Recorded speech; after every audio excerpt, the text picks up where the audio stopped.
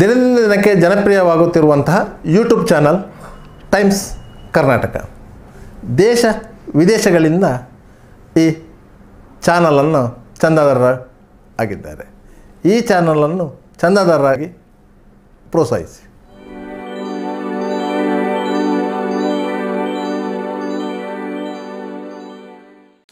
ಮಂಗಳೂರು ದಕ್ಷಿಣ ವಿಧಾನಸಭಾ ಕ್ಷೇತ್ರದ ಕಣ ರೋಚಕ ಹಂತಕ್ಕೆ ತಲುಪಿದೆ.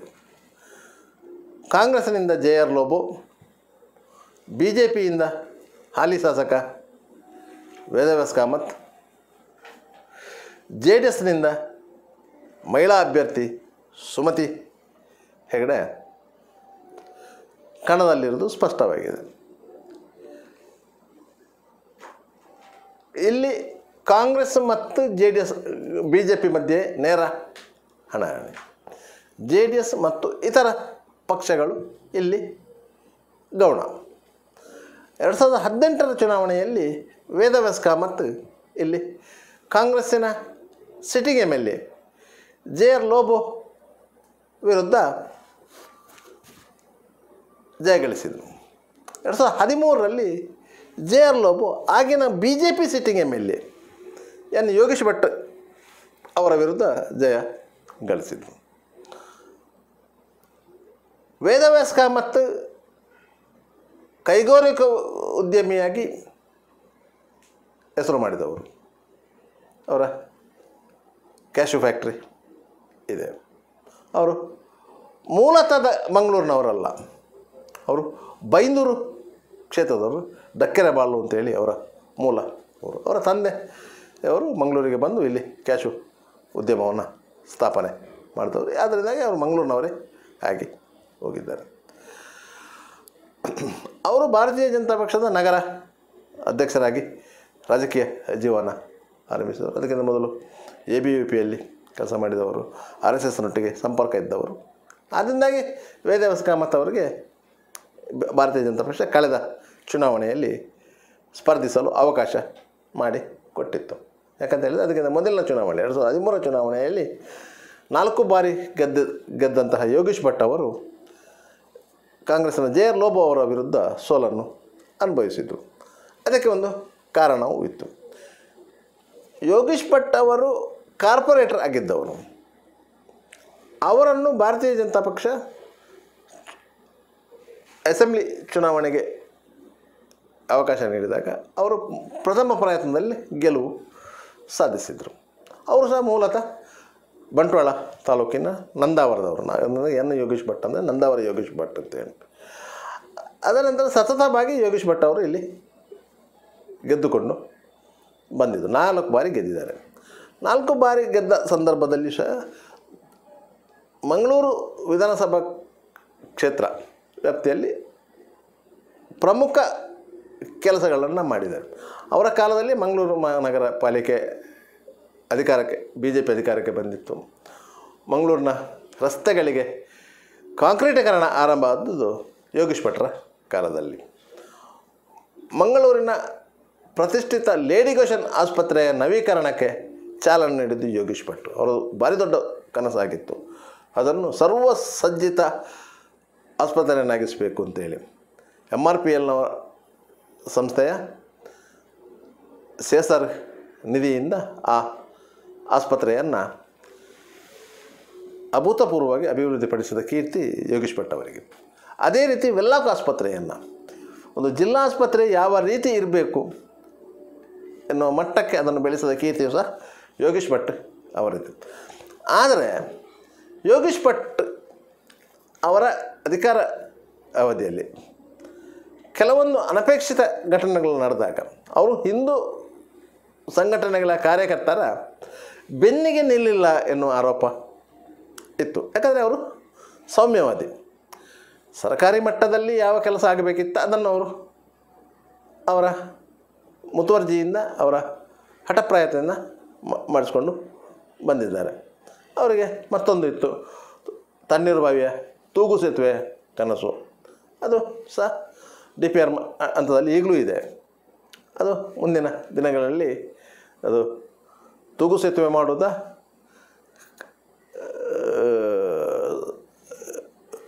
ಮಾಮೂಲಿ ಸೇತುವೆ ಮಾಡುವುದಾ ಎನ್ನುವ ಪ್ರಶ್ನೆ ಇದೆ. ಅದು ಬೇರೆ ರೀತಿ. ಆದರೆ ಯೋಗೀಶ್ ಭಟ್ ಅವರಿಗೆ ಮುಳುವಾದದ್ದು ಏನಂತ ಹೇಳಿದರೆ ಅವರ ಸೌಮ್ಯ ವಾದ. ಆದರೆ ಎರಡು ಸಾವಿರದ ಹದಿಮೂರರ ಚುನಾವಣೆಯ ಸಂದರ್ಭದಲ್ಲಿ ಯೋಗೀಶ್ ಭಟ್ರನ್ನು ಬದಲಾಯಿಸಬೇಕು ಎನ್ನುವ ಕೂಗು ಬಿ ಜೆ ಪಿಯೊಳಗೆ ಇತ್ತು. ಆಗ ಕೆಲವರು ಅದಕ್ಕೆ ಟೆವೆಲ್ ಹಾಕಿ ಕೂತಿದ್ದರು ಅದರಲ್ಲಿ ಒಬ್ಬರು ಪ್ರಮುಖರಾಗಿದ್ದವರು ಶ್ರೀಕರ ಪ್ರಭು. ಅವರು ಬಿ ಜೆ ಪಿಯ ಕಟ್ಟ ಕಾರ್ಯಕರ್ತ. ಅವರು ಸಂಘ ಪರಿವಾರದಲ್ಲಿ ಎಲ್ಲದರಲ್ಲಿ ಇದ್ದವರು. ಅವರನ್ನು ಕ್ಯಾಂಡಿಡೇಟ್ ಮಾಡಬೇಕಂತ ಇತ್ತು. ಆದರೆ ಸಿಟ್ಟಿಂಗ್ ಎಂ ಎಲ್ ಎನ್ನು ಬದಲಾಯಿಸುವುದು ಬೇಡ ಎನ್ನುವ ವರಿಷ್ಠರ ನಿಲುವು. ಯಾಕಂದರೆ ಆಗ ಅವರು ವಿಧಾನ ಸಭೆಯ ಉಪ ಸಭಾಪತಿಯು ಆಗಿದ್ದರು ಅಂಥವರನ್ನು ಬದಲಾಯಿಸುವುದು ಬೇಡ ಅಂತ ವರಿಷ್ಠರ ನಿಲುವಿನಿಂದಾಗಿ ಯೋಗೀಶ್ ಭಟ್ ಅವರಿಗೆ ಅವಕಾಶ ಸಿಕ್ಕಿತ್ತು ಅದು ಶ್ರೀಕರ ಪ್ರಭು ಮತ್ತು ಅವರ ಪಠನ ನಮಗೆ ಬೇಸರ ಆದದ್ದು ಹೌದು. ಈ ಶ್ರೀಕರ ಪ್ರಭು ಭಾರತೀಯ ಜನತಾ ಪಕ್ಷದ ನಲ್ಲಿ ಅವರದೇ ಚಾರ್ಮಿನಿಂದ ಬೆಳೆದಂಥ ಯುವಕ, ಸಂಘ ಪರಿವಾರದೊಂದಿಗೆ ಗುರುತಿಸಿಕೊಂಡಿದ್ದವರು. ಸಾವಿರದ ಒಂಬೈನೂರ ತೊಂಬತ್ತ ನಾಲ್ಕರ ಹುಬ್ಬಳ್ಳಿ ಈದ್ಗಾ ವಿವಾದದ ಸಂದರ್ಭದಲ್ಲಿ ಸುರತ್ಕಲ್ನ ಸತ್ಯಜಿತ್ ಮತ್ತವರ ತಂಡದವರು ಉತ್ತರ ಕನ್ನಡ ಎಂ ಪಿ ಆಗಿರುವ ಸದ್ಯಕ್ಕೆ ಅನಂತಕುಮಾರ್ ಹೆಗಡೆ ಆ ತಂಡದವರು ಒಟ್ಟಿಗೆ ಸೇರಿ ಹುಬ್ಬಳ್ಳಿಯಲ್ಲಿ ಈದ್ಗಾ ಮೈದಾನದಲ್ಲಿ ರಾಷ್ಟ್ರಧ್ವಜ ಆರೋಹಣ ಮಾಡುವಂಥ ಸಾಹಸಕ್ಕೆ ಕೈ ಹಾಕಿದ್ದನ್ನು ಚಿತ್ರೀಕರಣ ಮಾಡಿದ ಕೀರ್ತಿ ಶ್ರೀಕರ ಪ್ರಭುಗೆ ಇದ್ದದ್ದು. ಯಾಕಂದರೆ ಅದರಲ್ಲಿ ಅವರು ಫೋಟೋಗ್ರಾಫರ್ ಕರ್ತವ್ಯವನ್ನು ನಿರ್ವಹಿಸಿದ್ದವರು. ಅಂತ ಶ್ರೀಕರ ಪ್ರಭುಗೆ ಅವಕಾಶ ಸಿಗಲಿಲ್ಲ. ಆ ಚುನಾವಣೆಯಲ್ಲಿ ಕಾಂಗ್ರೆಸ್ ಒಂದು ಅಚ್ಚರಿಯ ಬದಲಾವಣೆಯನ್ನು ಮಾಡಿತ್ತು. ಯಾಕಂದರೆ ಪರಂಪರಾಗತವಾಗಿ ಬಂದಿದ್ದಂತಹ ಮುಖಗಳನ್ನು ಬಿಟ್ಟು ಸರ್ಕಾರಿ ಕೆಲಸಕ್ಕೆ ರಾಜೀನಾಮೆ ನೀಡಿದಂತಹ ಜೆ ಆರ್ ಲೋಬೋ ಅವರನ್ನು ಅಭ್ಯರ್ಥಿಯನ್ನಾಗಿಸಿತು. ಜೆ ಆರ್ ಲೋಬೋ ಅವರು ಕೆ ಎಸ್ ಅಧಿಕಾರಿಯಾಗಿದ್ದು, ಪುತ್ತೂರಲ್ಲಿ ಎ ಸಿ ಆಗಿದ್ದರು ಮಂಗಳೂರು ಮಹಾನಗರ ಪಾಲಿಕೆಯ ಆಯುಕ್ತರಾಗಿದ್ದರು ಅವರಿಗೆ ಇಲ್ಲಿನ ಎಲ್ಲ ರೀತಿ ರಿವಾಜುಗಳ ಪರಿಚಯ ಚೆನ್ನಾಗಿ ಇತ್ತು. ಅವರು ಚುನಾವಣೆಗೆ ಸ್ಪರ್ಧಿಸುವ ನಿರೀಕ್ಷೆಯಿಂದಲೇ ಕಾಂಗ್ರೆಸ್ಸಿಂದ ಟಿಕೆಟ್ ಸಿಗ್ತದೆ ಎನ್ನುವ ಹಂಬಲದಿಂದಲೇ ಸರ್ಕಾರಿ ಹುದ್ದೆಗೆ ರಾಜೀನಾಮೆ ನೀಡಿದರು. ಕಾಂಗ್ರೆಸ್ ಅವರನ್ನು ಅಭ್ಯರ್ಥಿಯನ್ನಾಗಿ ಘೋಷಿಸಿತು ಅವರನ್ನು ಅಭ್ಯರ್ಥಿಯನ್ನಾಗಿ ಘೋಷಿಸಿದಾಗ ಕಾಂಗ್ರೆಸ್ನಲ್ಲಿ ಯಾವುದೇ ರೀತಿಯ ಗುಂಪುಗಾರಿಕೆ ಇರಲಿಲ್ಲ. ಯಾಕಂದರೆ ಅದಕ್ಕಿಂತ ಮೊದಲು ಲ್ಯಾಸ್ಲೆಟ್ ಪಿಂಟೋ ಆಗಲಿ, ಐವನ್ ಡಿಸೋಸ್ ಆಗಲಿ ಇವರೆಲ್ಲರೂ ಸ್ಪರ್ಧೆ ಮಾಡಿದರು. ಅವರೆಲ್ಲರೂ ಇಲ್ಲಿ ಯೋಗೇಶ್ ಭಟ್ ಅವರ ಎದುರು ಸೋತಿದ್ದರು ಆದ್ದರಿಂದಾಗಿ ಅವರು ಮರಳಿ ಪ್ರಯತ್ನ ಮಾಡುವಂಥ ಇದರೆಲ್ಲ ಹೊಸ ಅಭ್ಯರ್ಥಿ ಸಿಕ್ಕಿದಾಗ ಅದು ಸಹ ಸುಶಿಕ್ಷಿತ, ಸರ್ಕಾರಿ ಅಧಿಕಾರಿಯಾಗಿದ್ದವರು. ಜನರ ಸಮಸ್ಯೆಗಳ ಆಲ ಅಗಲ ಅರಿತವರು ಬಂದಾಗ ಅವರಿಗೆ ಬೆಂಬಲ ನೀಡಿದರು. ಕಾಂಗ್ರೆಸ್ಸಿನ ಎಲ್ಲ ಗುಂಪುಗಳು, ಅಂದರೆ ಕಾಂಗ್ರೆಸ್ನಲ್ಲಿ ಹಲವು ಗುಂಪುಗಳು ಈಗಲೂ ಇದೆ, ಆಗಲೂ ಇತ್ತು. ಎಲ್ಲ ಗುಂಪುಗಳು ಒಟ್ಟು ಸೇರಿದ್ದವು. ಆಗ ಸಿಟ್ಟಿಂಗ್ ಕಾರ್ಪೊರೇಟರ್ಗಳು ಒಟ್ಟಿಗೆ ಕೆಲಸ ಮಾಡಿದರು. ಪ್ರತಿಯೊಬ್ಬ ಎಂ ಎಲ್ ಎಯ ಗೆಲುವಿನಲ್ಲಿ ಪ್ರಮುಖ ಪಾತ್ರ ವಹಿಸುವವರೇ ಸಿಟ್ಟಿಂಗ್ ಕಾರ್ಪೊರೇಟರ್ಗಳು. ಅವರು ಒಟ್ಟಾಗಿ ಕೆಲಸ ಮಾಡಿದರು. ಅದರಿಂದಾಗಿ ಲೋಬೋ ಅವರು ಗೆಲುವು ಸಾಧಿಸಿದರು. ಆ ಲೋಬೋ ಅವರ ಗೆಲುವು ಸಾಧಿಸಲಿಕ್ಕೆ ಕೆಲವೊಂದು ಬೇರೆ ಬೇರೆ ಅಂಶಗಳು ಕಾರಣ ಆಗಿದ್ದವು ಅಂತ ಹೇಳ್ತಾರೆ. ಆದರೆ ಅದೇನು ಸ್ಪಷ್ಟತೆ ಇಲ್ಲ ಅದು ಏನಂತ ಹೇಳಿದರೆ, ಮತದಾರ ಪಟ್ಟಿಯಲ್ಲಿ ಮತದಾರರನ್ನು ಸೇರ್ಪಡೆಗೊಳಿಸಿದಂತೆ, ಇಲ್ಲಿನ ವಿವಿಧ ಕಾಲೇಜುಗಳಲ್ಲಿ ಕಲಿಯುತ್ತಿದ್ದಂಥ ವಿದ್ಯಾರ್ಥಿಗಳನ್ನು ಮತದಾರ ಪಟ್ಟಿಗೆ ಸೇರಿಸಿದರು. ಅದು ಅದು ಒಂದು ಚುನಾವಣಾ ಸ್ಟ್ರಾಟಜಿ ಅಲ್ಲಂತ ಹೇಳಿಕೆ ಅದು ಎಲ್ಲ ಪಕ್ಷಗಳು ಮಾಡ್ತವೆ.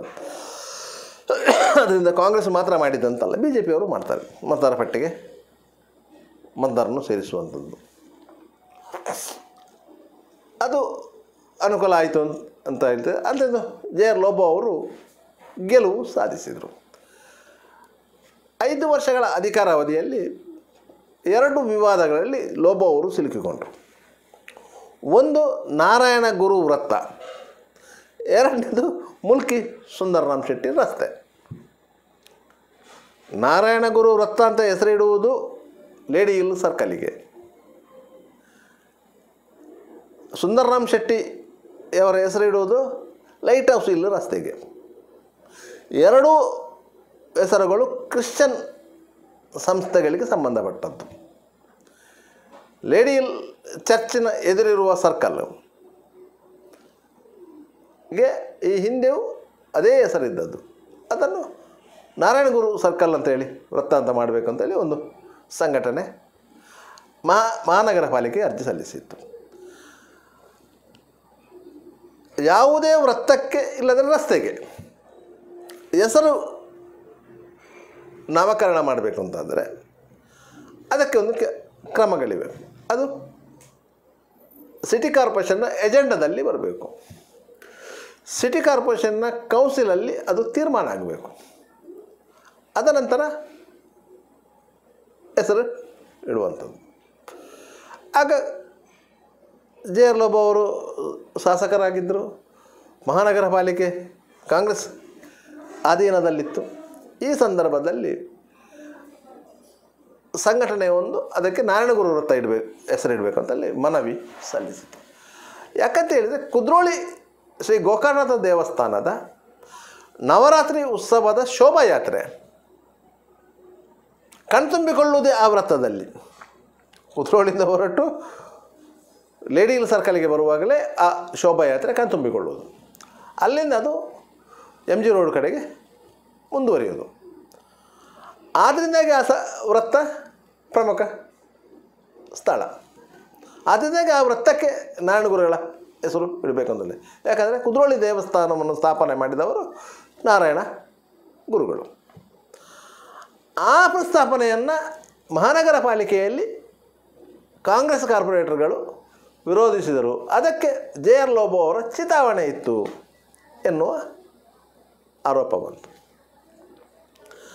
ಸಂಘಟನೆ ಒಂದು, ಆ ವೃತ್ತಕ್ಕೆ ನಾರಾಯಣ ಗುರು ವೃತ್ತ ಅಂತೇಳಿ ಬ್ಯಾನರ್ ಹಾಕಿತ್ತು.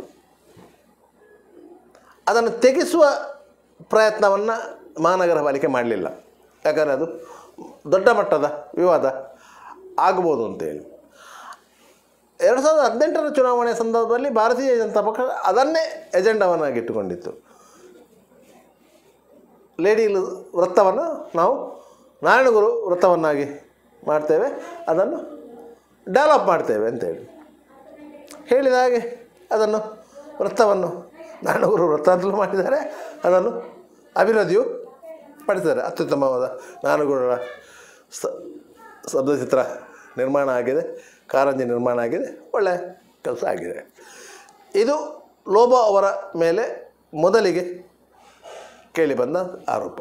ಅವರು ಜಾತೀಯವಾದಿಯಾಗಿ ವರ್ತಿಸಿದರು ಅಂತೇಳಿ. ಅದ ನಂತರ ಲೈಟ್ ಹೌಸ್ ಇಲ್ಲ ರಸ್ತೆಗೆ ಮುಲ್ಕಿ ಸುಂದರರಾಮ್ ಶೆಟ್ಟಿ ರಸ್ತೆ ಅಂತಲೇ ಹೆಸರಿಡೋದು ಮುಲ್ಕಿ ಸುಂದರರಾಮ್ ಶೆಟ್ಟಿಯವರು ವಿಜಯ ಬ್ಯಾಂಕನ್ನು ಸ್ಥಾಪನೆ ಮಾಡಿದವರು. ಈಗ ವಿಜಯ ಬ್ಯಾಂಕನ್ನು ಕೇಂದ್ರ ಸರ್ಕಾರ ಬ್ಯಾಂಕ್ ಆಫ್ ಬರೋಡದೊಟ್ಟಿಗೆ ಮರ್ಜಿ ಮಾಡಿದ್ದು ಪ್ರಶ್ನೆ ಬೇರೆ. ಆದರೆ, ಬ್ಯಾಂಕಿಂಗ್ ಇತಿಹಾಸದಲ್ಲಿ ದಕ್ಷಿಣ ಕನ್ನಡ ಮತ್ತು ಉಡುಪಿ, ಈ ಈ ಅವಿಭಜಿತ ದಕ್ಷಿಣ ಕನ್ನಡದ ಇತಿಹಾಸ ದೊಡ್ಡದು. ಇಲ್ಲಿ ಸ್ಥಾಪನೆಯಾದಷ್ಟು ಬ್ಯಾಂಕುಗಳು ದೇಶದ ಯಾವುದೇ ರಾಜ್ಯದಲ್ಲಿ ಸ್ಥಾಪನೆ ಆಗಿಲ್ಲ. ಈ ಎರಡು ಜಿಲ್ಲೆಗಳಲ್ಲಿ ಸ್ಥಾಪನೆ ಆದಷ್ಟು ಬ್ಯಾಂಕುಗಳು. ಅಂಥದ್ರಲ್ಲಿ ವಿಜಯ ಬ್ಯಾಂಕು ಒಂದು. ಅದರ ಅಧ್ಯಕ್ಷರಾಗಿದ್ದವರು ಮುಲ್ಕಿ ಸುಂದರಾಮ್ ಶೆಟ್ಟಿ ಅವರು. ಅವರ ಹೆಸರನ್ನು ಅಲ್ಲಿಗೆ ಆ ರಸ್ತೆಗೆ ಇಡಬೇಕು ಅನ್ನೋದು ಪ್ರಸ್ತಾಪ ಬಂತು. ಯಾಕಂತ ಹೇಳಿದರೆ ವಿಜಯ ಬ್ಯಾಂಕಿನ ಪ್ರಾದೇಶಿಕ ಕಚೇರಿ ಆ ರಸ್ತೆಯಲ್ಲಿತ್ತು. ಯಾಕಂದರೆ ಜ್ಯೋತಿ ಟಾಕೀಸಿನ ಪಕ್ಕದಲ್ಲಿರುವ ಕಟ್ಟಡ. ಆದ್ದರಿಂದ ಆ ರಸ್ತೆಗೆ ಅವರ ಇಡಬೇಕು ಅಂತ ಹೇಳಿ. ಆ ಪ್ರಸ್ತಾಪಕ್ಕೆ ಶಾಸಕ ಲೋಬೋ ಅವರ ಚಿತಾವಣೆಯಿಂದ ಎಲೋಸಿಸ್ ಕಾಲೇಜಿನ ಆಡಳಿತ ಮಂಡಳಿ ವಿರೋಧ ವ್ಯಕ್ತಪಡಿಸಿತು.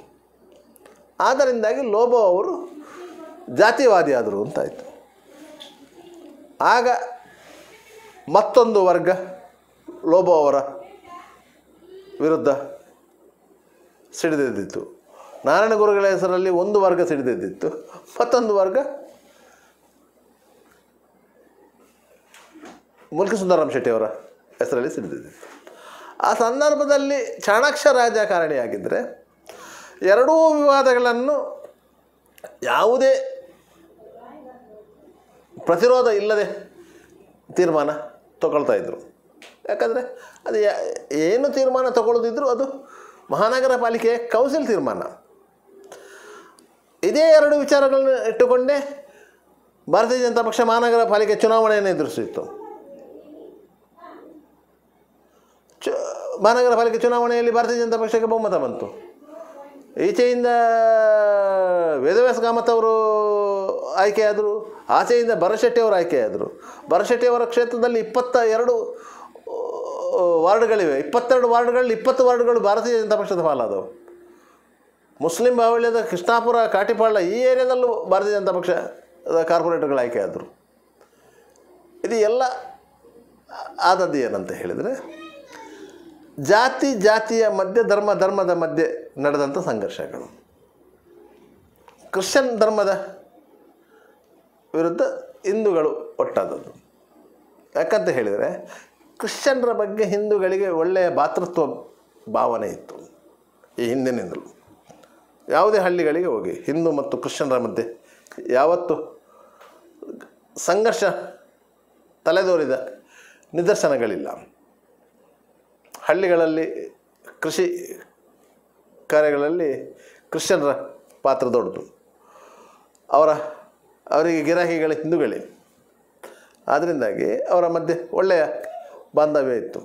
ಆ ಬಾಂಧವ್ಯ ಯಾವಾಗ ಮುರಿಯಿತು ಅಂತ ಹೇಳಿದರೆ ನ್ಯೂಲೆಫ್ ಫೆಲೋಶಿಪ್ ಎನ್ನುವ ನೂತನವಾದಿಗಳ ಗುಂಪು ಅಲ್ಲಲ್ಲಿ ಪ್ರಾರ್ಥನೆಗಳ ಹೆಸರಲ್ಲಿ ಹಿಂದೂಗಳನ್ನು ಮತಾಂತರ ಮಾಡ್ತಾ ಇದ್ದಾರೆ ಎನ್ನುವ ಒಂದು ಆರೋಪ ಬಂದಾಗ ಅವರ ಸೆಂಟರ್ಗಳಿಗೆ ಹಿಂದೂ ಜಾಗರಣ ವೇದಿಕೆ ಮತ್ತಿತರ ಹಿಂದೂ ಪರ ಸಂಘಟನೆಗಳು ದಾಳಿ ಮಾಡಿದಾಗ ಅದು ಕ್ರಿಶ್ಚಿಯನ್ ಸಮ, ಸಮುದಾಯದ ಮೇಲೆ ನಡೆದ ದಾಳಿ ಅಂತ ಹೇಳಿ ಎಲ್ಲ ಕ್ರಿಶ್ಚಿಯನ್ಗಳು ಒಟ್ಟಾಗಿ ಪ್ರತಿಭಟಿಸಿದಾಗ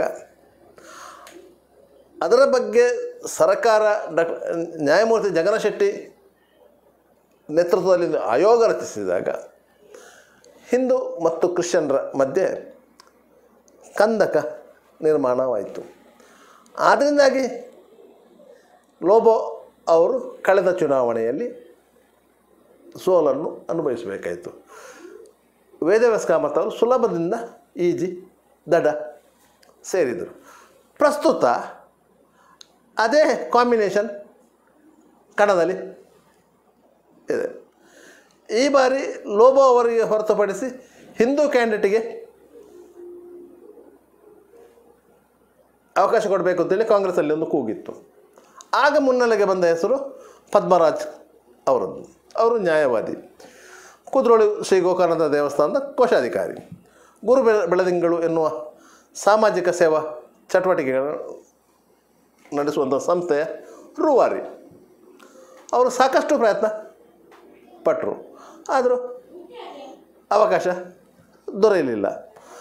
ಐವನ್ ಡಿಸೋಜ ಅವರು ಪ್ರಯತ್ನ ಪಟ್ಟರು ಅವರಿಗೂ ಅವಕಾಶ ದೊರೆಯಲಿಲ್ಲ. ಅದರಿಂದಾಗಿ ಲೋಬ ಅವರು ಈ ಸಾರಿ ಇಲ್ಲಿ Congress candidate. Vedavyasa Kamath B J ಪಿಯಿಂದ candidate. ಮತ್ತು ಜೆ ಡಿ ಎಸ್ನ ಸುಮತಿ ಹೆಗ್ಡೆ ಆಗಲಿ, ಎಸ್ ಡಿ ಪಿಯಿಂದ ಯಾರಾದರೂ ಸ್ಪರ್ಧೆ ಸ್ಪರ್ಧೆ ಮಾಡ್ತಾರೆ ಕೆಲವು ಪಕ್ಷೇತರರು ಸ್ಪರ್ಧೆ ಮಾಡ್ತಾರೆ, ಅದೆಲ್ಲ ಲೆಕ್ಕಕ್ಕೆ ಬರಲ್ಲ. ಅಂತೂ ಇಂತೂ ನೇರ ಹಣಾಹಣಿಗೆ ಕಣ ಸಿದ್ಧವಾಗಿದೆ.